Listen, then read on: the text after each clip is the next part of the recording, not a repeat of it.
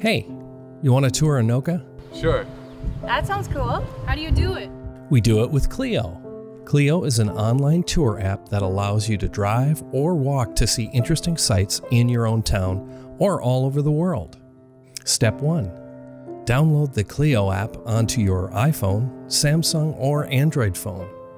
The cost is free. The tour is free. The information you get is priceless. Step 2 Go to the search bar and search Anoka or click the button that says Find closest to your location.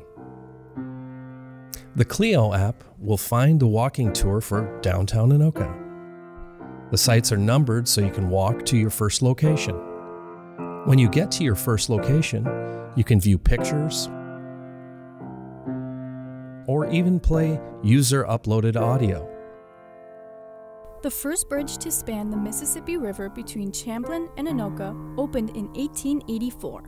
It was a spring bridge. You can listen to the information about the site right on your headset while you see the site.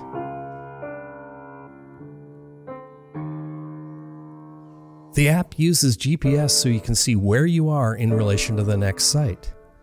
The blue icon will show you where you are. The red icon will show you the next site.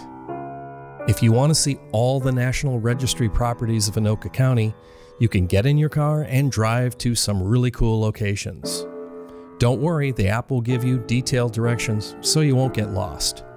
You can watch a short video about all the Anoka County Registry sites by scrolling all the way down to the bottom under the Additional Information section. Remember, the Clio app works all over the world.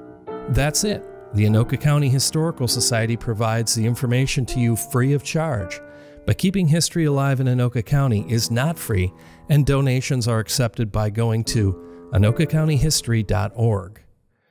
On that website, you'll see really cool historical things about Anoka County, how to donate or volunteer.